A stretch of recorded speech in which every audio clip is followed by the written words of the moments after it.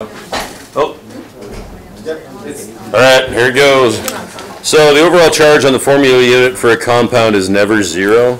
Actually, when you, when you make the, uh, when you figure out what the formula is, like when you're figuring out the uh, formula for an ionic compound, what you're trying to do is make the overall charge equal to zero. So that's false, and it's always zero.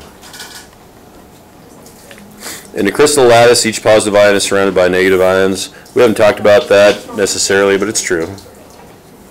Delocalized valence electrons are typical of metals and alloys. Um, we haven't talked about metallic bonding yet, but that's also true.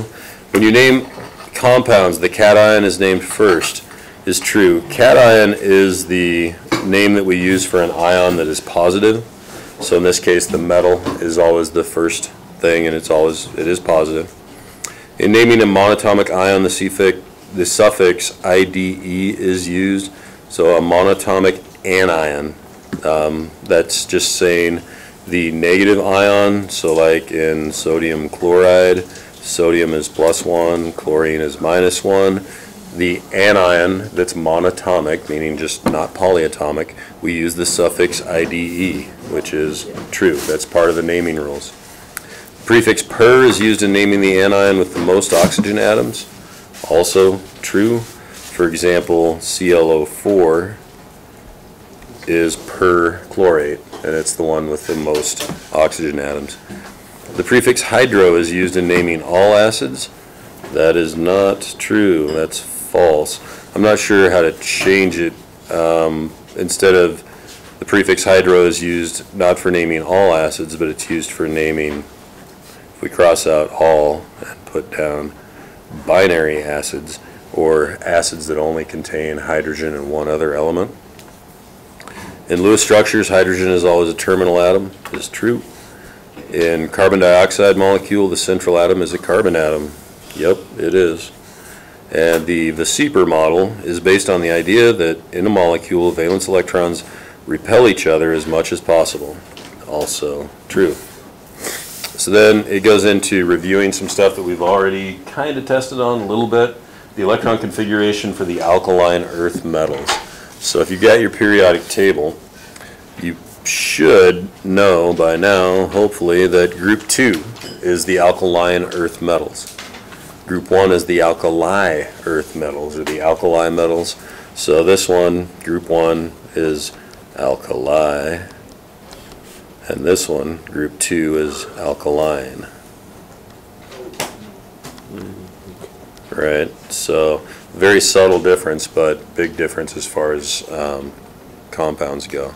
And so if you're looking at the electron configuration for the alkaline metals, they all are going to end in what? So for example, beryllium is 1s2, 2s2. And then it's going to be, well, 1s2 is helium, but then 2s2 for beryllium. Magnesium is going to end in 3s2, right? Then calcium is going to end in 4s2. Strontium is going to be 5s2, then 6s2, then 7s2. And so for this, something s2 is what the electron configuration is for all everything in that group.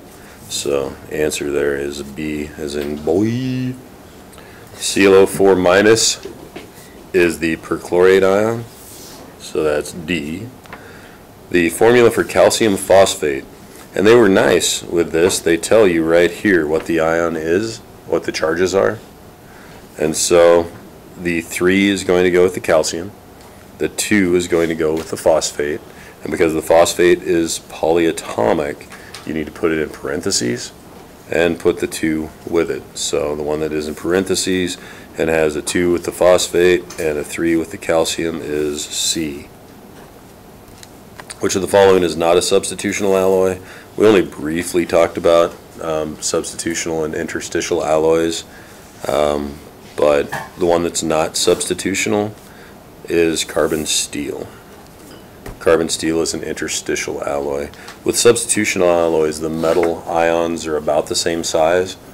Yeah. Are we gonna have a question like that on our test? No. No. Your quiz tomorrow will just be on naming inorganic compounds and periodic trends. That's it. Nothing else. No electron configuration, nothing that's on here. But it is good to go back and review the stuff that you're supposed to already know. Yeah, very similar to the practice one that we've done. Um, In the formation of an ionic bond, electrons are what? Transferred. And which of the following elements normally exists in the form of diatomic molecules? So helium, no. Argon, no. Iron, no. Nitrogen. Nitrogen exists as N2, which is a diatomic molecule, so that's D. You can remember never fear ice cold beer, and that will get you most of the diatomic um, molecules. So N2, F2, never fear ice, right? So that's I2, Cl2 for cold, um, well, O2, and then Br2. So never fear ice cold beer will get you to most of the diatomic uh, molecules that you need to know. So now, like Bob Seger, turn the page uh, and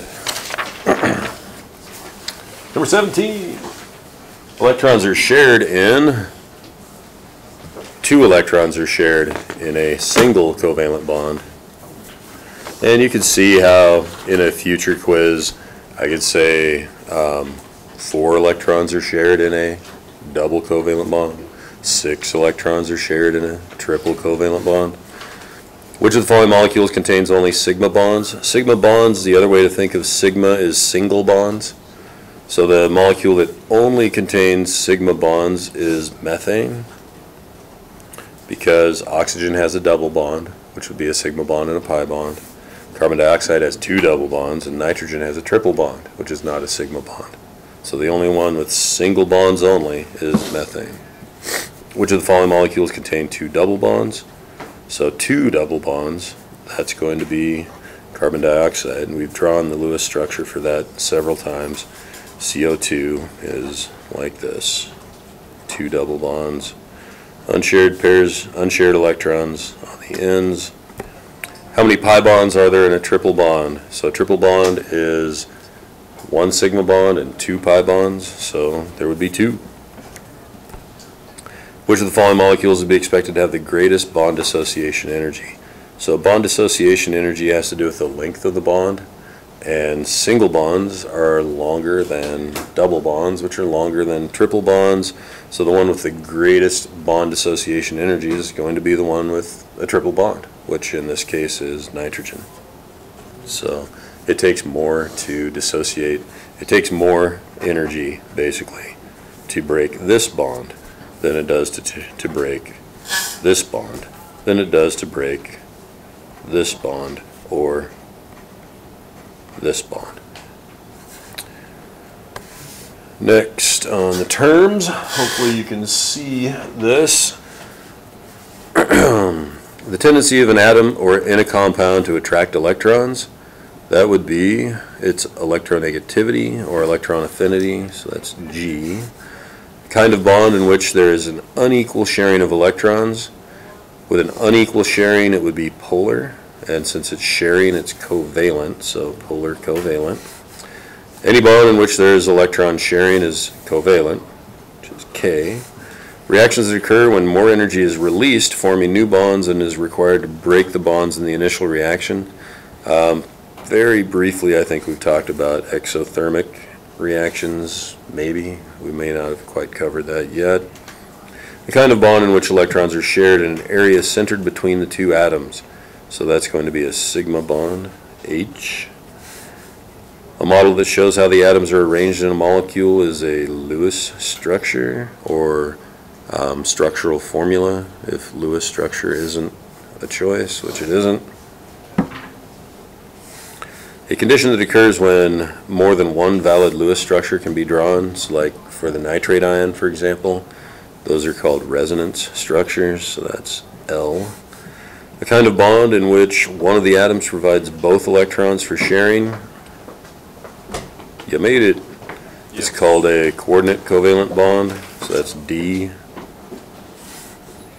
An example of that is when something like boron trihydride bonds with um, like NH3 and both of the electrons in that bond come from the NH3 and not from the boron. And that's what makes it a coordinate covalent bond. And the combining of orbitals in an atom to form new identical orbitals, um, that's the idea of hybridization, but um, you don't need to know that. I should probably just take that one off of there. And the truth about that is um, some forms of hybridization um, there's evidence for, but some of the other hybridization things that we used to teach, actually, um, with new technology for looking at where electrons are and what orbitals they're in, um, turns out that orbital hybridization is kind of not a thing. So which one of these has an odd number of valence electrons? If you look at this one, nitrogen has five electrons available for bonding. Oxygen has six. That's 11, which is an odd number. So that would be C. The one that has less than eight electrons around its central atom is B, BF3. More than eight electrons around it would be D. And then more than one valid Lewis structure, that's ozone, or A, and we'll get to, to that a little bit later. Next. All right. Is this the next page? Yeah. So, um, notice that the person that wrote this was nice to you and said that they're all ionic. So, you don't have to worry about naming for covalent compounds. And what that means is if they're not molecular or covalent, with ionic compounds, it means there's going to be no none of the prefixes like the the monos or di or tri or tetra. We only do that with molecular compounds. We don't do that with ionic compounds. So realize that we don't use the prefixes when there are ionic compounds. We only use those for covalently bonded or molecular compounds. So do not make the mistake when it's ionic of doing something like calling this magnesium dichloride. We don't use those um, prefixes when they are ionically bonded. We only, when they're, sorry, yeah, when they're ionically bonded, we only use those prefixes when they are covalent. So if it's binary, all you do is write the name of the metal, which in this case is lithium, and then the name of the nonmetal, with the suffix IDE. So instead of lithium iodine, it's lithium iodide. So this one would be Mg is magnesium.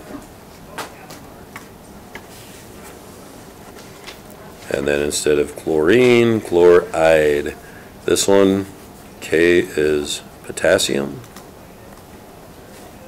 And then S would be sulfide. This one we made in lab when you burned the magnesium. So that's magnesium oxide. Then with this one we get to the first one that has a polyatomic ion. SO4 is what? Sulfate. So this is lithium. Still just write the name of the metal. And then instead of sulfide, this is sulfate fate because it contains more than two elements. When it's got more than two elements, you know you've got a polyatomic ion involved. The exception to um, the always being a metal with a nonmetal for ionic bonds or ionic compounds is when you have a positive ion like ammonium so NH4 is ammonium. It's pretty much the only exception to, one of the only exceptions to the rules as far as naming. So that, the name of this, it's not a metal, so this is NH4 plus is the ammonium ion. And then we treat it as if it was um, binary, but it isn't. And so the correct name here is ammonium bromide. This one, calcium and phosphorus, just two elements, so it's calcium. And P is phosphorus, so that's phosphide. This one, cesium, also phosphorus, so phosphide. Here, potassium. And then the bromide ion. Here we have magnesium, chlorine, and oxygen. So we have a polyatomic ion. You still just write the name of the metal, which is magnesium. And then you've got to have your some of your polyatomic ions memorized. So you should be working on the flashcards. ClO3 is chlorate. So this is magnesium chlorate. This one is a tricky one because the charge, if lithium is plus one, that means this single oxygen has to be, um, this one actually isn't tricky. This oxygen is just oxide. This oxygen is minus two. So this one is lithium oxide. We have the sulfate ion again. So the metal is beryllium. And then not sulfide, but sulfate because of the SO4. Here, one of the most important compounds for modern agriculture and keeping our 8 billion people fed. This is fertilizer, ammonium nitrate without which uh, we might have a hard time growing enough food since our agricultural practices rely on fertilizer for a lot of things. This one is sodium bromide. I got 20 pounds of tomatoes out of my garden last night. Yeah. Most of them little cherry tomatoes, but a bunch of other big heirlooms and other things. So I got to figure out what to do with them. I've already made salsa and ketchup and soup. I don't know. Any ideas? BLTs, spaghetti. Yeah. So here, when you've got a metal that is not a representative metal, but this is a transition metal, so it's in the D block, this is where you've got to use Roman numerals and you've got to be able to figure out what the charge on iron is. But it's relatively easy because it's with oxygen, and oxygen's charge is minus 2. And if there's one oxygen and one iron, that means iron's charge has to be plus 2. So you write iron, and then to so that you know the difference between the plus 2 and the plus 3, you put in parentheses 2, Roman numerals, to so that you can know that the charge on the iron is plus 2. So this is iron 2 oxide. And then IO3, and it's also minus 1, but if you're either in your chart of polyatomic ions, which you can't actually use on a test, so you have to get these things memorized, IO3 is iodate, and it's minus 1, so the iron has to be plus 2. So again, you've got iron 2, and then the name of that ion, that polyatomic ion, is iodate. What would it be called if it was FeIO3 3? Right, it wouldn't be iron 2 iodate, it would be iron 3 iodate. I'll just write that down. So that's iron 3 iodate. Next, going for some people, and I think it might be most of the class, going from the name to the formula is more difficult than going from the formula to the name. But the process, like the video we watched um, yesterday, is to figure out, it ends in IDE, so you know it's binary. The metal then is beryllium. You look on your periodic table, you find out that beryllium's in group two, so its charge is plus two. Phosphide means phosphorus, so you look on your periodic table and you see that phosphorus is in the minus three column. Also, though, was this one of the ones up here? No. So then, to write the formula, the quick and easy shortcut, make the three the subscript for the beryllium, make the two the subscript for the phosphorus, and you've got it. So PE3, P2.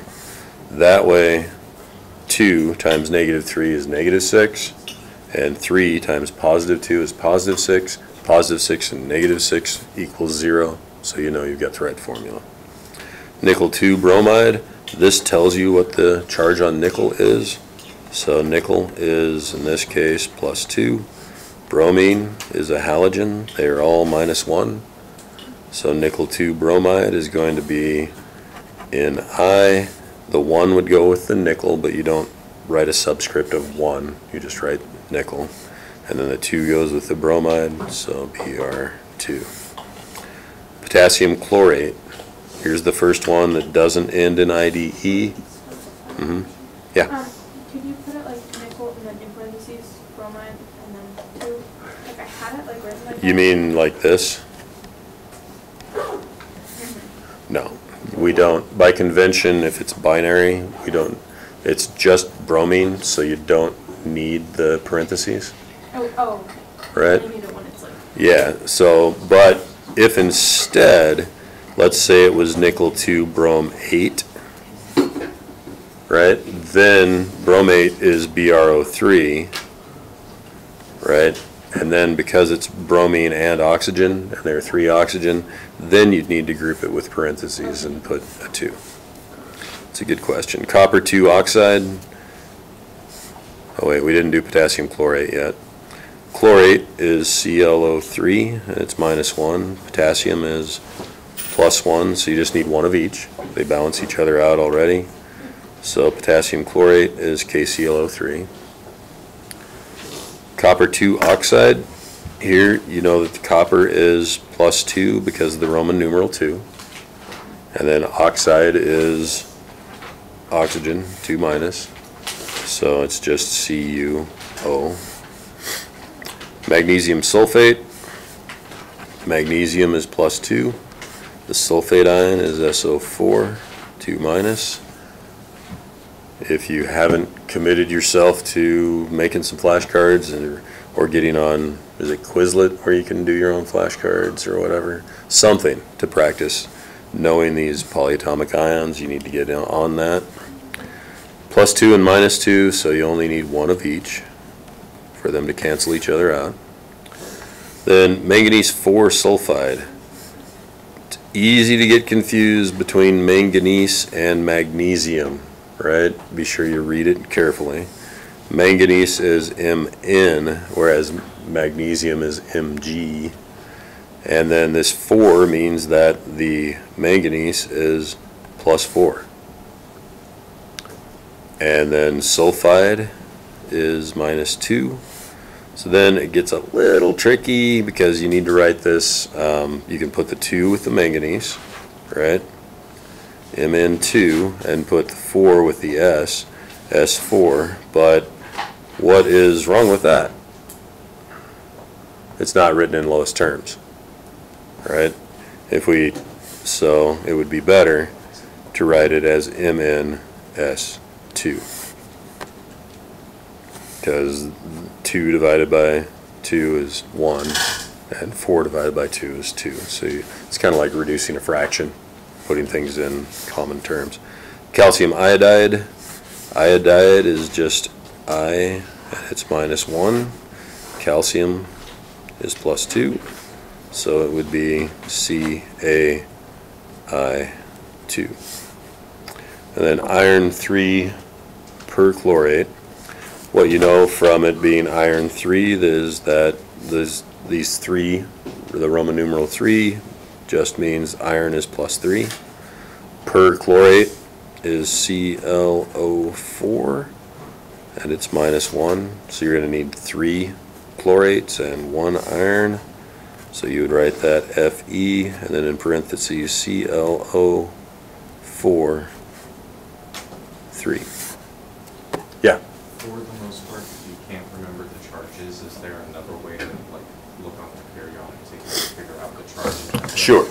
Um, the biggest way with the elements is grab your periodic table, and when you first get it, or whatever, for your quiz, these are everything in group one is plus one, everything in group two is plus two.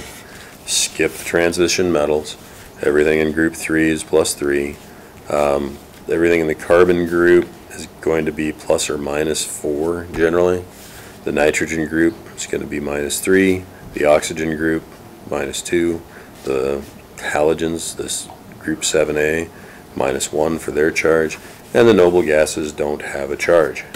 And so then like, the, if you're trying to find out the charge per chlorate, is there a way to Mm, figure out that For por, for perchlorate, um, there kind of is, but it's a little more complex than what you probably want to, um, figure out. But I can show you if you want. You know that chlorine has seven valence electrons? And you know that each oxygen has two? And so when they bond, when this bonds, basically what's going to happen is you've got oxygen, you've got eight electrons there. And so what you end up with is they, as they bond, they sort of cancel each other out, sort of. That's a weird way to think about it. And so these seven from chlorine will match up with seven from the oxygen, and that's gonna leave one electron left over. So, I think I understand, but I also don't. all right, I don't wanna get too into that. It's probably better at this point just to, to memorize the charges on the polyatomic ions. So, the final page. Oh, there's one left, sodium nitride. So sodium is Na plus one, nitrogen is in the, uh, group five A, so it's minus three. So sodium nitride would be Na three N. So then, this stuff is what we're working on now. Um, it's not going to be on your quiz tomorrow, so I wouldn't worry about it.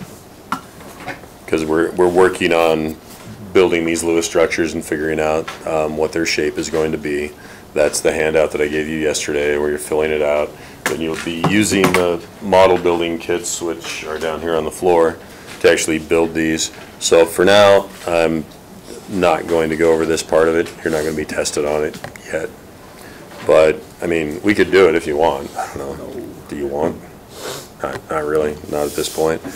But you might need to be able to, um, name some acids tomorrow. You might need to be able to, um, write the formula for some, um, covalent or molecular compounds. So HI, if it's just hydrogen and one other element, then we do use the prefix hydro. So that's hydroiodic acid. N2O5, you have a nonmetal and a nonmetal, so that is where you do use the prefixes. So there's two nitrogen, so that would be dinitrogen. And then the prefix for five is penta, or pent. So pent oxide. Sulfuric acid. When an acid's name, when the name ends in ic, then it's from the eight ion. So that means you need to figure out what the sulfate ion is. It's one of the more common polyatomic ions.